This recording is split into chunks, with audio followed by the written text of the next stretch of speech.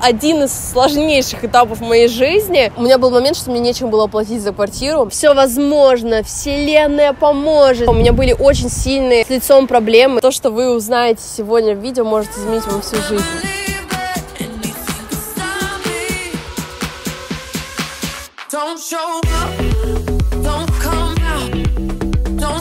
Ну что, друзья, начнем это видео. Благодарю Бога за то, что Он дал мне возможность сейчас записать это видео для вас. Благодарю за то, что погода соблаговолило, и вышло солнышко, закончился дождь, и это невероятно. Мы сейчас находимся на Гоа. На Гоа сейчас не совсем сезон, утром и вечером всегда дожди, но иногда бывают вот такие вот прекрасные моменты, когда выходит солнышко. Все, кто только зашли на мой канал, приветствую вас, и я уверена, что вы не просто так на это видео зашли, оно вам в любом случае даст много осознаний, и, возможно, вы останетесь со мной надолго, возможно, нет, я все равно вам благодарна, и приветствую также тех, кто уже давно знают меня. Сегодняшнее видео, оно будет о моих внутренних изменениях, о том, что же произошло со мной за время отсутствия, какие трансформации со мной происходили. В то время, когда вы писали мне комментарий «Виолетта уже не та», где та жизнерадостная Виолетта, где тот контент, который был. И я всегда чувствовала глубиной души, что да, это не то, что я бы хотела показывать. То, что вы узнаете сегодня в видео, может изменить вам всю жизнь, и вы уже не будете прежними. Но начать прежде всего я хочу не с того, что сейчас происходит со мной, а тому, как я к этому шла. Потому что во многом тот путь, который я проделала, возможно, будет вам полезен, возможно, вы находитесь на каком-то из трудных этапов вашей жизни, и именно сейчас вам нужна та самая поддержка, тот самый ответ на вопрос, что делать дальше. Я вам скажу, все будет классно. Верьте мне, смотрите это видео до конца, я уверяю, что вы не пожалеете. Не забывайте ставить свои пальцы вверх, подписываться на канал, ну а я рядом с морем, рядом с зеленью,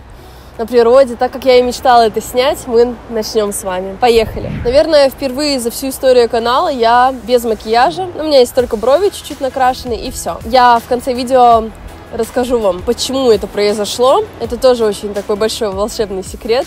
Начнем с того, что все мои изменения они, естественно, уже были с самого рождения. Но я их разделила на подэтапы. Первый этап, который я обозначила, это был этап детства. Здесь мы пробежимся с вами тому, как я пришла к тому, что есть сейчас. Это именно гармония в душе, это счастье непередаваемое, когда вы практически 24 на 7 чувствуете себя волшебно. Итак, детство. Оно у меня характеризуется такими вещами, как моя бабушка. Ну и вообще в целом моя семья, я каждому члену семьи, каждому человеку, который был в роде моем, благодарна за то, что я такая такая, какая я есть, даже тем моментам, которые мне не нравились раньше, потому что только они меня делали сильнее, и благодаря им я становилась лучше и лучше.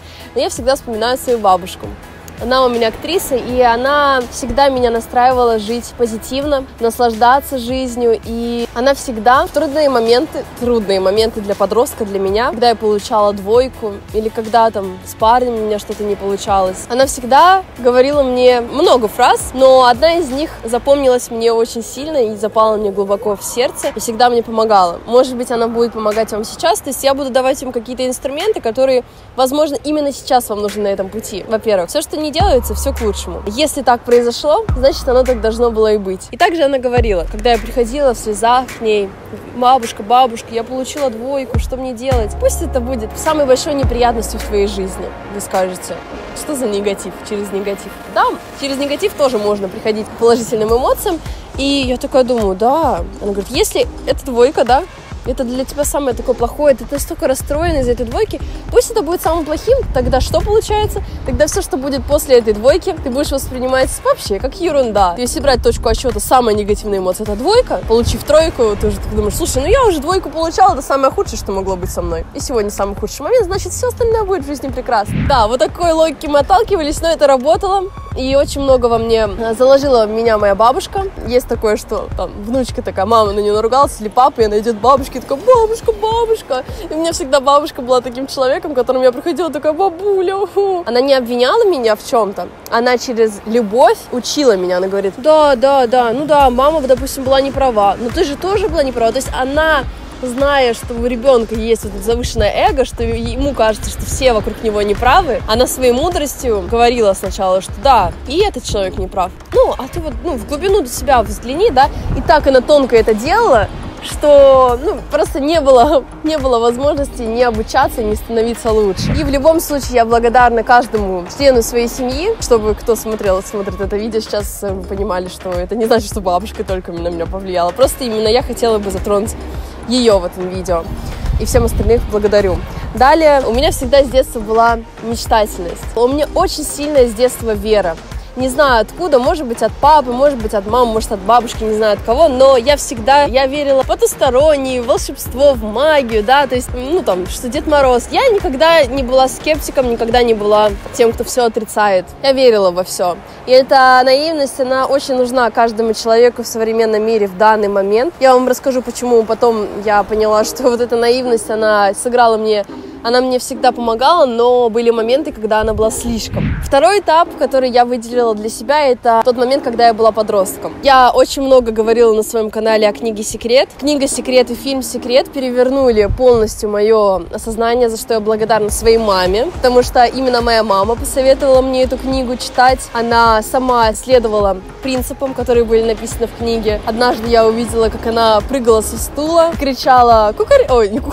не кукарико, она кричала, она кричала кричала «Поперла!» Можно сказать, делала аффирмацию, да, не знала, что, может, он называется аффирмацией, но она делала то, что практические задания, какие давали в этой книге. И, естественно, я, глядя на нее, глядя на ее веру, как у нее все сбывалось, она рассказывала об этом, я тоже в это поверила и начала применять. И законы Вселенной стали для меня чуть ли не самой большой истиной. В подростковом периоде, грубо говоря, пропагандировала. Всем запоминалось как человек, который постоянно улыбается и позитивный. Так оно и было. Я не сильно страдала, но часто печалилась. Это отражалось на определенных аспектах моей жизни, об этом попозже. В тот момент, когда я начала читать фильм «Секрет», я начала тоже читать аффирмации, я начала визуализировать.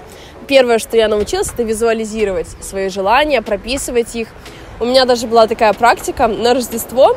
Это, кстати, было до, по-моему, книги «Секрет». Я вообще эту практику, наверное, сама придумала, где-то увидела из нее часть и уже сама ее дополнила. В чем заключалась эта практика? Нужно было на 10 листочках написать 10 своих желаний и в рождественскую ночь положить их под подушку. И на следующее утро достать три. Эти три желания должны в течение года сбыться. У меня было всегда стремление к ведению личных дневников, за что я безумно благодарна Господу Богу и тому, кто это мне привил привычку, или она у меня была с рождения, ну, как-то так, что у меня постоянно везде лежали разные дневники, до сих пор я их веду. Не могу их закончить вести, потому что они мне дают невероятную энергию. Я с самого детства записывала свои дни. Я недавно открывала блокнот, и там «Сегодня я увидела его. Я любила его, но он даже не посмотрел на меня. Настроение было на нуле». Ну ладно, так я не писала, наверное, я расстроилась. Далее более глубокие мысли, там всегда были переживания насчет молодых людей, что, в принципе, волнует очень многих в этом возрасте. Эти дневники помогали мне понять лучше всего себя. Вернемся к вере. И вера у меня всегда была очень сильная, поэтому все желания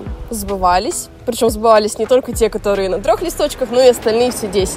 Я об этом рассказывала всем. Многие на меня смотрели странно, особенно в школе. Не воспринимали мою гиперпозитивность. Тогда я этого не понимала. Меня это расстраивало немножко, потому что я думала, что все должны быть такой, как я. Но это не, не, не так. Не все должны быть такой, как я. Это лишь мой выбор. Каждого человека выбор. Но меня расстраивало. Расстраивало, что многие считали меня какой-то не такой и не верили. А я говорю, друзья, это реально работает. Но не нужно было никому доказывать, это я поняла чуть позже, естественно, да. Я очень много посещала разных лагерей, в них я могла творчески самовыражаться и тоже там получила много навыков по коммуникации с людьми. У меня очень сильно был развит навык слушания, то есть мне всегда действительно интереснее людей слушать, а это считается вообще одной из основных, грубо говоря, стратегий успешности. Об этом говорится в книге Дейла Карнеги «Как заводить друзей и оказывать влияние на людей», и об этом и говорится в священных писаниях, что первое стадия, если вы хотите научиться достигать успеха посредством божественности, посредством каких-то определенных духовных практик, то вам в первую очередь нужно научиться слушать. Я любила слушать и сразу применять в жизнь. Я применяла очень часто неосознанно. Все, что слышу, то и применяю. От этого у меня был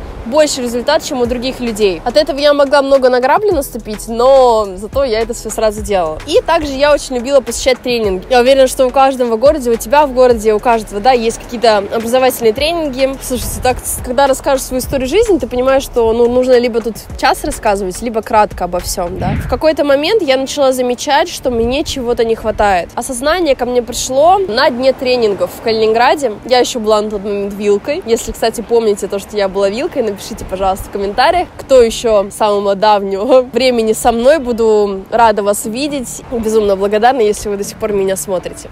Сейчас, кстати, я уже не чувствую себя То есть у меня был период, когда я была вилкой. Мое прозвище в лагерях. Потом я выросла из этого прозвища, и мы придумали новое. Я стала Ви. И сейчас я уже не Ви.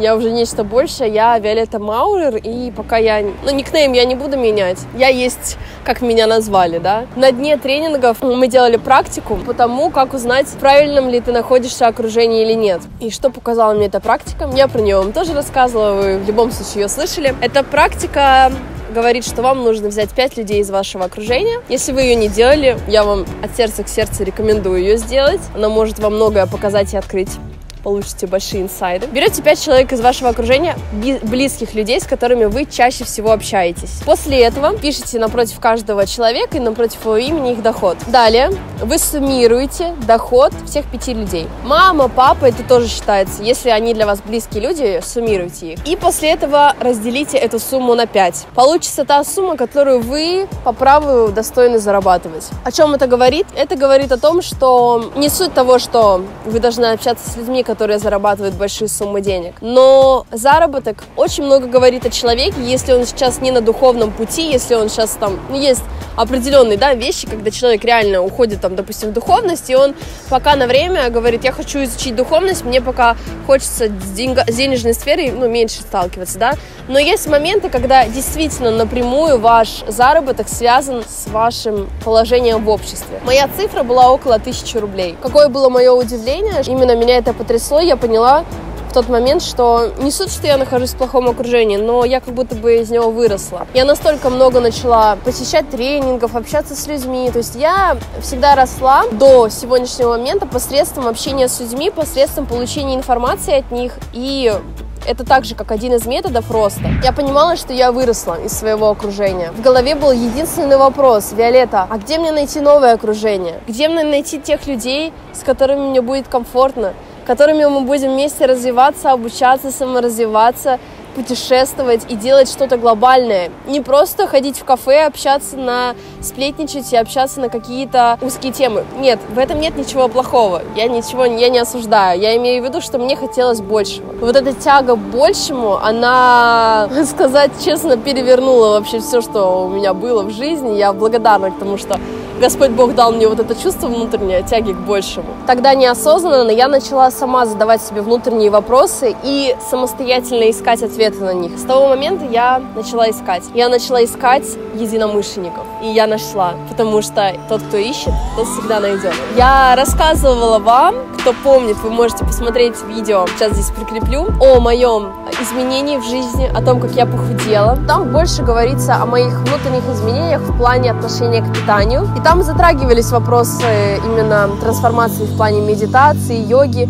но не настолько глубоко, как я бы хотела с вами поделиться сейчас. Но вы можете посмотреть это видео. Это видео было записано, по-моему, два года назад. Чуть позже, я думаю, я смогу, если вам интересно, записать более глубокое видео на тему питания. Сейчас мы не о питании говорим, сейчас мы говорим больше о трансформациях мышления. В тот момент, когда я начала искать, мне начали попадаться на глаза знания, которых я раньше не видела. Но в первую очередь меня заинтересовали знания о вегетарианстве. Благодарю Господа Бога за то, что Он мне а, открыл знания Романа Милованова. Он во многом случае явился моим первым интернет-учителем. Мы с ним не общались именно напрямую, он меня не обучал, но его видеоролики на YouTube дотронулись для, до глубины моего сердца или души, если так сказать. Он снимал короткие ролики, он снимал ролики, которые заходили в тренды, а за счет того, что он снимал все очень простым языком, подтверждая это фактами из э, книг, из каких-то исследований, что не могло меня не привлекать. Он рассказывал о том, что мясо вредно, молоко вредно. Я не буду сейчас углубляться в этом. Я приняла решение, что я больше не буду есть мясо. Кстати, именно очень много у меня происходит моментов, когда я это принимаю решение. Сейчас я тоже не ем мясо. Я приняла для себя решение. То есть, на самом деле, очень много зависит от решения. Кстати, у Ильи, э, я чуть позже расскажу, кто это. Если вы не знаете, на канале есть видео по принятию решения. Тоже оставлю ссылку в описании. Так вот, я приняла решение, и когда я принимаю решение не есть мясо, тоже очень много происходит изменений. Но вы должны понимать, что отказ от мяса это не значит, что вы стали духовным. Потому что многие думают, что а, вот я откажусь от мяса, и ко мне приходит осознание, но это не совсем так, потому что вообще в мире нету вообще чего-то плохого, мы к этому также придем позже, но вы должны понимать, это лишь ваш выбор, есть мясо или нет, мой выбор не есть, потому что определенные причины потом расскажу. Так вот, и я начала искать и поняла, что нет в Калининграде людей, которыми я могу с которыми я могу на эту тему вообще поговорить. Не то, что там, ну, команду собрать по вегетарианству, по правильному питанию. Нет, вообще нет такого человека. И я не знаю, каким образом, благодарю Господа за это, я на Инстаграме нашла человека, у него было написано в Инстаграме «Я вегетарианец», э, семьянин, бизнесмен. Я просто ему написала в Инстаграме, то есть я с первого сообщения ему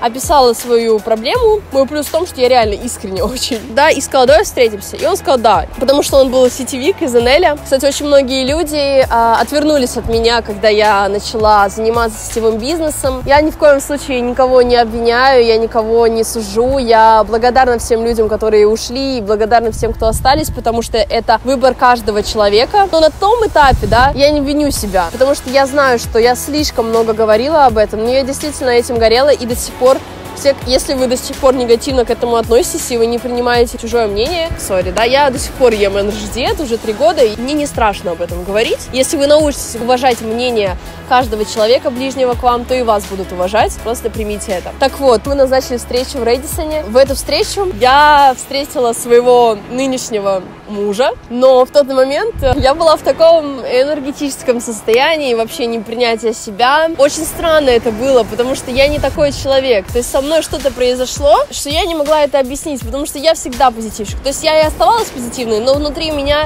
всегда вот было вот это чувство, что я что-то себе не принимаю.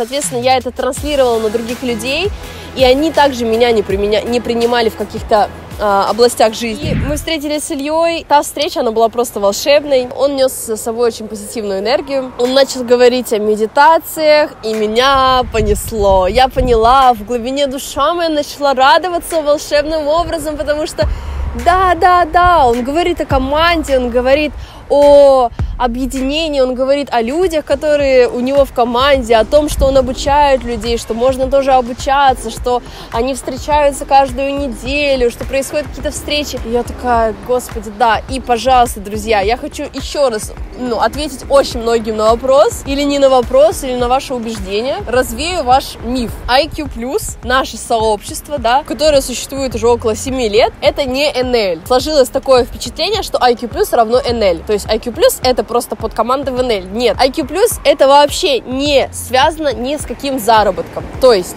IQ Plus это просто объединение людей, стремящихся саморазвиваться и становиться лучше. В IQ Plus э, есть разные люди, и у нас есть много разных направлений. Инвестирование, блогерство, сетевой бизнес, творчество, недвижимость, медитация, вегетарианство, йога и так далее. То есть много направлений, и каждый человек выбирает, что он хочет. Есть платное обучение, есть бесплатное обучение. Есть продукты, да, там подушка для медитации, курсы обучающие, вещи, как стать видеоблогером, да, как стать инстаграм-блогером. Можете, кстати, зайти у меня в описании, все будет, все ссылки. Почему я говорю сейчас об НЛ? Потому что именно НЛ и вегетарианство меня связали и поставили на путь истины, так сказать. Не знаю, как так сказать, но я имею в виду, они меня вот э, к этому привели. Если бы не НЛ, мы бы с Ильей сейчас не были, скорее всего, вместе, потому что только на фоне НЛ, только того, что мы там объединялись, мы создавали команды, у нас был общий интерес. Он достал шейкер с НЛ, начал начал есть его при мне. Почему он не может себе позволить м- любую еду в этом кафе? Он же может это сделать, но он ест НЛ. Это было в моей голове мысли. Естественно, на меня это повлияло. Мне не нужно было никакие приводить аргументы, чтобы я купила этот продукт. Я его взяла и на следующий день или через день пошла и купила. Почему? Потому что я, ну, у меня была очень сильная боль внутри, и я искала все возможные варианты, благодаря которым я могла бы похудеть благодаря которым я могла бы... Ну, то есть, знаете, такое состояние, когда вот все что угодно скажи, и человек может это сделать. Вот я была готова. Но так как я увидела в Илье авторитета, который еще и мудрый авторитет, не просто мне ерунду какую-то советует, да, я пошла и купила. И реально я похудела. Не будем на этом заострять внимание я похудела, и я начала параллельно с этим обучаться. У меня появилась книга мудрости, я начала изучать финансовую грамотность, начала медитировать, а в каждой сфере я смогу вам записать отдельные ролики по вашим запросам. А, я начала заниматься йогой, я начала приходить к осознанному интуитивному питанию, правильному питанию, потому что мы очень часто общались с Ильей, и на меня очень сильно влиял пример. Когда вы в компании находитесь, и все в компании не едят сладкое, со временем вы будете в этом вариться, скорее всего, вы тоже перестанете есть сладкое. Это доказано очень-очень много. Начните общаться минимум месяц с какой-то а, определенной командой, компанией, которая, к примеру, не пьет алкоголь, а вы пьете. Вы перестанете его пить. Вы не сможете. Вы просто не... Ваши вибрации, да, с этой командой и с этими людьми не будут совпадать, и вам придется либо покинуть эту команду, либо стать такими, как они. То же самое сложилось со мной. Илья вообще нигде не ел ни сахар, ни... Он даже, по-моему, на тот момент э, мясо... Нет, мясо ел. Но какой-то период он не ел мясо. Мои финансы пошли вверх. Я поняла снова инвестирование. Я начала по ним действовать, я начала откладывать деньги. До этого момента я никогда не откладывала. Всегда я получала сумму и тратила. Ну, то есть мне, я ни в чем не нуждалась, я не страдала от того, что у меня что-то нет. Но как только у меня приходила какая-то сумма, она куда-то исчезала. Я думаю, что вы меня понимаете, и у вас, возможно, до сих пор это есть. Так вот, могу снять тоже отдельное видео по поводу книг, которые я читала. Первое правило, которое там 10% я начала откладывать, я начала инвестировать. На меня я чувствовала себя прям такой, типа, ей, мне 18, я девушка, я уже инвестирую, я уже сколько делаю. И прям вот так вот все шло, шло, шло, у меня появилась команда единомышленник, то есть то, о чем я мечтала. Мы каждую неделю собирались с ребятами, обсуждали, что произошло у нас нового за это время, делились инсайтами, делились книгами, делились э, настроением, позитивом, и это был как наш ритуал каждый недельный. Но не все было так гладко, как кажется, я об этом не всегда, может быть, вообще не говорила. Были недопонимания в семье. В те моменты, когда я познакомилась с сообществом IQ+, я начала заниматься сетевым бизнесом и приносить домой коробки с продуктом. Я начала медитировать. По сути, я делала все правильно, да, я себя улучшала, перестала есть сладкое, перестала есть мясо. Что думали мои родители? Ну, наша девочка, походу, попала в секту. Не буду сейчас углубляться в те моменты, потому что я считаю, что прошлое есть прошлое, надо жить настоящим, даже не будущим, а настоящим, вот именно этой секундой. Поэтому я не буду э, говорить вам, какие, через какие трудности мне пришлось пройти, но это было тяжело. Тяжело морально, потому что у меня, ну, домой я не могла зайти просто потому, что энергетика непринятия, даже если родители ничего не говорили, они, я понимаю, они меня любили в тот момент, и они меня сейчас любят, но они хотели мне добра по ихнему мнению. И это нормально, когда у меня будут дети, возможно, я что-то тоже не буду понимать. Я благодарю своих родителей за то, что они такие, какие они есть. На самом деле многое было во мне, я не принимала людей, не принимала свою семью. Я там, я искала счастье вне и это знаете что? Самое смешное, что важно принимать всех. Но я очень благодарна этим моментам, потому что именно благодаря им меня побудило на переезд, на то, чтобы жить одной. И это было тоже великолепное время. Мы должны любить своих близких, но мы должны также свою жизнь строить, так как мы ее хотим строить. Потому что если нас не принимают, нам нужно ну, уйти в другой дом, это нормальное дело, да, но я тоже не осуждаю тех людей, которые живут до сих пор с родителями, это их выбор. Но есть просто определенные истины, которые говорят, что все-таки сын, дочь должны отделяться уже от родителей в какой-то период жизни.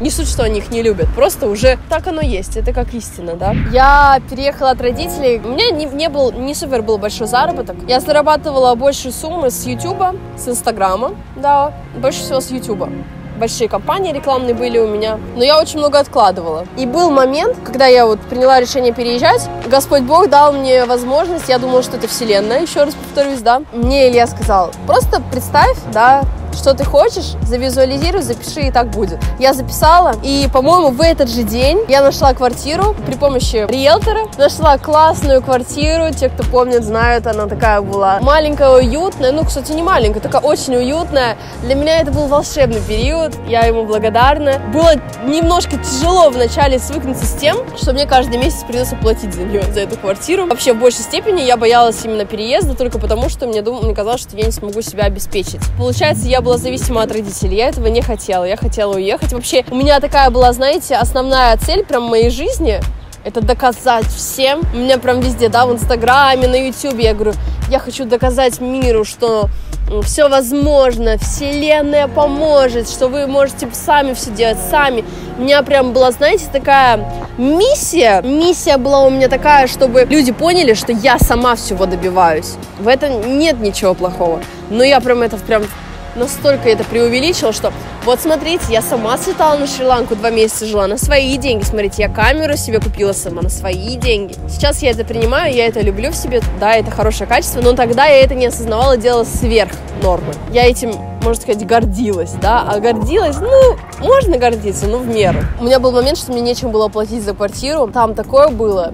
Я была движима страхом. Я знаю, что многие в этом мире были движимы страхом, двигаются страхом и будут движимы страхом. Но они могут прийти к тому, что можно двигаться не от страха, а от любви. А, перейдем к следующему этапу. Этап работы со страхами, с родом, с женственностью, с курсами, с благодарностью, с обидами, эго, слезами, страданиями. В общем, общем, это был один из сложнейших этапов моей жизни, когда я начала работать со своим эго. Я могла сделать выбор и сделать это проще, но нет.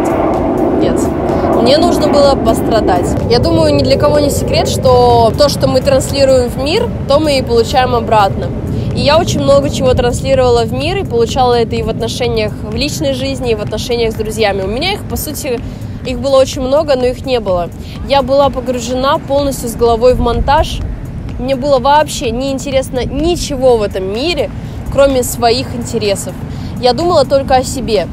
Да, думать о себе это круто, это правильно, это нужно. Но в рамках приличия я думала лишь о своем комфорте, своем эге, эге. Жила миром Ютуба и Инстаграма. В этот момент я не понимала ни себя, ни других, Вроде бы все шло хорошо, но внутри меня была такая пустота, которую я не могла ничем наполнить. То есть все становилось то прекрасно, замечательно, все шло какими-то скачками. Знаете, я про это сейчас говорю и понимаю такое ощущение, что я не о себе говорю, потому что очень много изменилось, поэтому я не могу прям углубиться в эти чувства, эмоции и не хочу, собственно. Просто если в двух словах позитив, негатив, позитив, негатив, супер позитив, супер негатив, супер позитив, супер негатив. Меня спасали всевозможные практики, медитация, опять же, все, что мы делали с Ильей, да, он меня обучал. У нас было очень очень много определенных моментов в отношениях, которые я не буду выносить на камеру, но я скажу, что работали каждый со своим эго. Так как когда две личности встречаются в отношениях, они либо выбирают путь расти вместе, либо полностью друг друга принимают, но принимать можно, но все равно нужно развиваться, да, и есть отношения именно в которых люди растут. Так вот, у нас постоянно рост. Если кто-то растет, то другой его догоняет, но вместе мы идем. Я забыла рассказать про конкурс Мисс Россия, потому что я про него рассказывала, вы можете посмотреть видео, также оставлю ссылочку. В двух словах, я мечтала об этом, я попала на конкурс, я немножко разочаровалась, потому что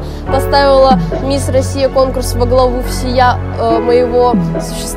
И когда я туда попала и увидела много-много чего, Именно нет, мне очень все понравилось, я очень счастлива, что побывала там и за весь опыт благодарна, но моя маленькая такая оплошность была в том, что я э, поставила как свою главную миссию, что ли, как свою главную цель на этом конкурсе побывать. То есть у меня не было никакого дальнейшего желания или дальнейшей какой-то цели, которой я могу, можно сказать, которая пройдет через всю мою жизнь, которая будет наполнять меня смыслом жизни. Когда я побывала на конкурсе, я поняла, что все, у меня опустились руки. Не потому, что я не выиграла не заняла первое место, а потому что мне больше некуда стремиться, по сути, да. Все мои похудения, все мои какие-то изменения как будто бы были только ради этой цели, и вот ее добился, как знаете, да, добиться заработка денег у Ильи. Я не буду рассказывать про его историю, потому что, э, может быть, если он согласится, мы как-нибудь с ним вместе расскажем более глубоко все, что было в отношениях. И вообще, если вам интересно, напишите в комментариях. Э, я думаю, что мне прямо сейчас идея пришла в голову, почему бы нам с Ильей вместе на моем канале не снять видео может какие-то вопросы отвечать, потому что он сильный эксперт в области отношений мужчины и женщины, медитации и всего-всего, ну, это мой учитель, можно сказать, поэтому будет интересно. Если хотите, напишите в комментариях, что Илья давай на канал к Виолетте. Когда я вернулась домой, а я же после переезда, я квартиру свою сдала. Зачем я ее сдала? Для того, чтобы как символ сделать это, как знак, что мне некуда возвращаться, значит, я стану мисс России. Вот, смешно, но да. И когда я вернулась, я сначала на время жила с родителями, и потом я ну, переехала жить вместе с Ильей. И вот там-то начались мои самые главные проработки. Потому что если с родителями я могла от них убежать и ничего не делать с собой, то в отношениях такого не может быть. Ты либо работаешь над собой, либо вы расходитесь, потому что отношения без роста, они очень сложные будут. Конечно же, я работала. Вот эти все-все-все штуки. Первое, что произошло, мы начали изучать прощение, мы научились друг друга прощать. Это я кратко. Второе, мы попали на энергетический курс, он длился 20 дней.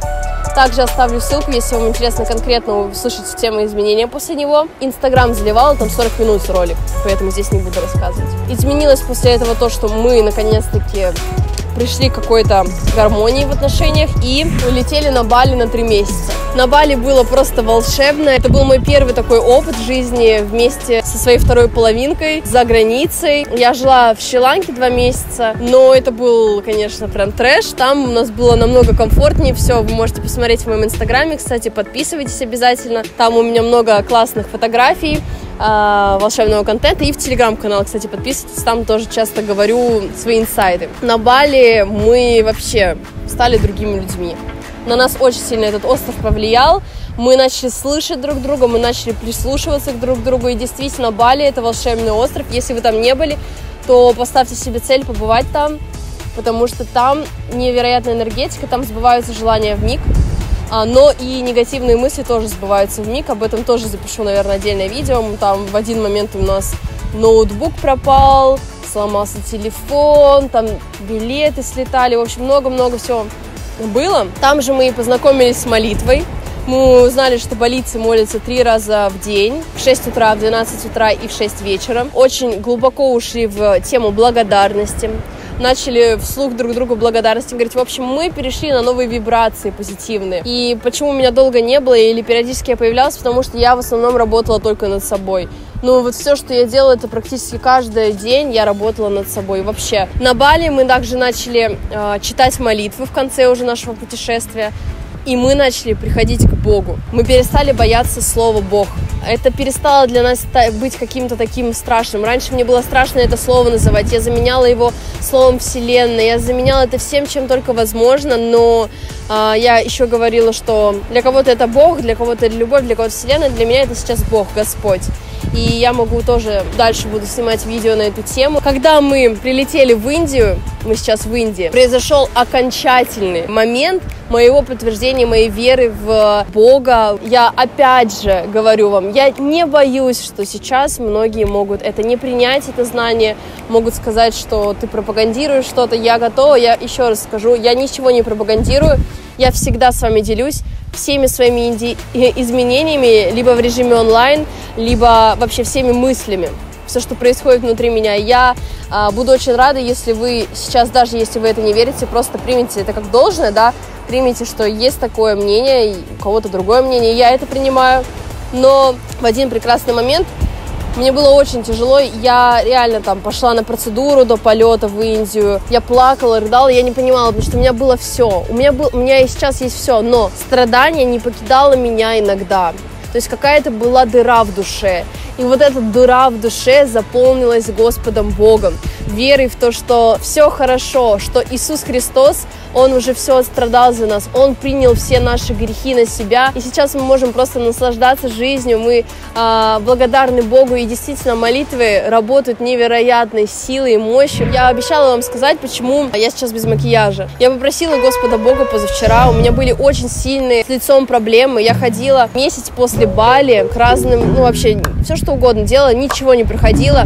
И только позавчера я попросила у Господа Бога, Господь Бог, пожалуйста, я тебя прошу, ты самый лучший.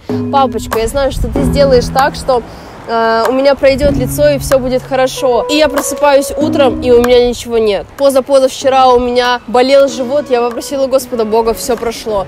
И так раз за разом, и так шаг за шагом. И не суть, что я в это верю лишь потому, что тут сбываются мои мечты. Я просто обрела здесь себя. Я чувствую, что моя дырочка, вот эта пустота, которую я пыталась заполнить, YouTube, ну, какими-то вещами сверх нормы, да, я, я думала, что в отношениях, да, отношения мужчина, Бог, да, он, Бог должен быть в каком-то роде, как Господь для тебя, для, жен, для женщины, ты должна с ним быть как с папочкой, но никто тебе не заменит Господа Бога. Я очень много прорабатывала отношений с родителями внутри себя. У меня были очень много разногласий. Я проходила энергетические практики, там, чтобы маму принимать, папу принимать, чтобы не осуждать людей. Я уходила в прошлые жизни. Ну, много чего увидела, и сейчас я понимаю, что истина в том, что есть Господь, и э, я ему очень благодарна за то, что я сейчас здесь есть. И я, наверное, не могу до конца вам раскрыть свое знание, потому что я только в этой теме начинаю разбираться. Это очень интересно. Мы изучаем книги, молитвы читаем каждый день, изучаем Библию. Услышала одну вещь вот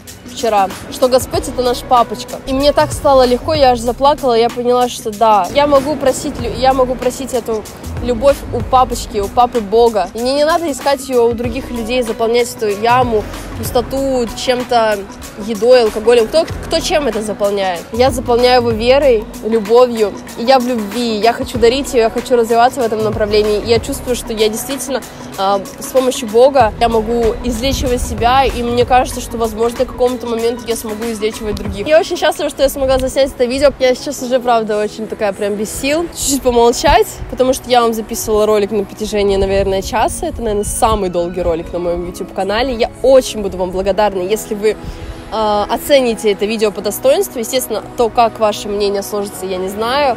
Можете поставить палец вверх, можете подписаться на все мои социальные сети. И я буду очень рада услышать ваш искренний комментарий по поводу того, что у вас сейчас внутри происходит. Вы можете написать все-все-все. Может быть, у вас какой-то сложный этап, и, возможно, я смогу вам помочь и заснять видео на ту тему, которая вам сейчас именно важна и нужна. Я еще раз благодарю вас за просмотр. Сейчас я учусь быть практически всегда в гармонии и хочу передавать и делиться этой гармонией. Я поняла, что теперь я готова с этой гармонией идти в социальный мир и нести за собой большую миссию. Целую.